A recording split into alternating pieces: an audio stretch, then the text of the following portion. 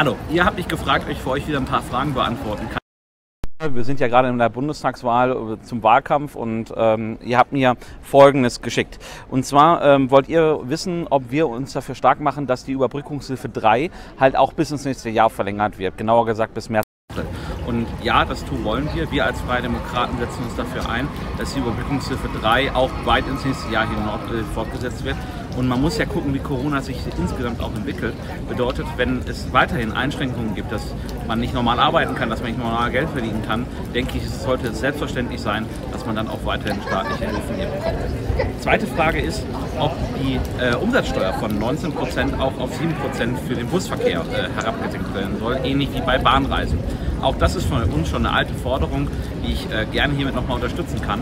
Und wir wollen auch nach der Bundestagswahl uns dafür stark machen, dass wenn wir in eine Bundesregierung kommen, die Mehrwertsteuer hier an der Stelle gesenkt wird. Mhm. Die dritte Frage ist, ob man nicht im Grunde auch hingehen kann, um die Hilfen noch zu vereinfachen, die Gewinne der Unternehmen von 2018, 2019 mit den jetzt Verlusten 2020 oder 2021 verrechnen kann. Auch da haben wir direkt schon zu Pandemiebeginn äh, das ähm, äh, Modell einer sogenannten negativen Gewinnsteuer äh, im Grunde äh, vorgestellt, womit wir im Grunde ja, ermöglichen wollen, dass Unternehmen sehr schnell direkt von den Finanzämtern die Hilfen bekommen. Und ähm, das würde sich da wunderbar mit einfügen. Also kann ich auch da sagen, ja, da setzen wir uns für ein.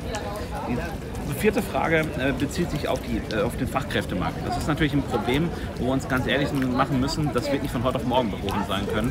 Und das wird auch nicht allein dadurch gehen, dass wir nur Fachkräfte bekommen, sondern natürlich, das hängt auch damit zusammen, wie attraktiv oder wie sicher ist auch der Job in der Touristikbranche und speziell natürlich bei den Busunternehmen. Und ich glaube, ähm, da müssen wir jetzt vor allem scheunig gucken, dass wir ähm, Fachkräfte besser in unser Land bekommen, aber vor allem auch endlich Sicherheit wieder ausstrahlen können, dass es nicht weiter in diesem Krisenmodus zugange geht, wie es aktuell der Fall ist.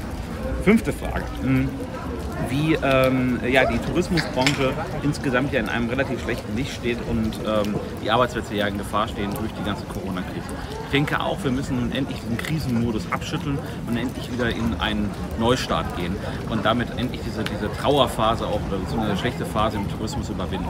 Das geht aber nur, indem wir auch alle gemeinsam daran anpacken. Der Staat muss sein Übriges tun, dass die Unternehmen durch die Krise kommen mit finanziellen Hilfen, natürlich die Regelungen auch entsprechend lockern, wo es möglich ist und nicht immer nur so ein Salamitaktik fahren.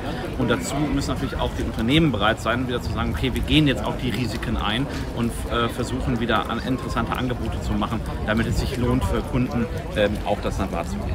Ähm, zu guter Letzt äh, die Frage, äh, wie es sich mit den Masken bzw. auch den 3G-Regelungen äh, bei den Busfahrten verhalten sollte. Das ist natürlich ein bisschen wieder eine komplizierte Geschichte mit dem Föderalismus in Deutschland, weil ja die Länder jeweils die Regelungen treffen und nicht der Bund in Summe.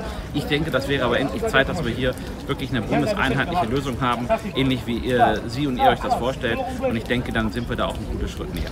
Ich hoffe, das hat eure Fragen an der Stelle soweit beantwortet. Wenn es noch irgendwelche offenen Punkte gibt, meldet euch einfach gerne bei mir. Vielen Dank.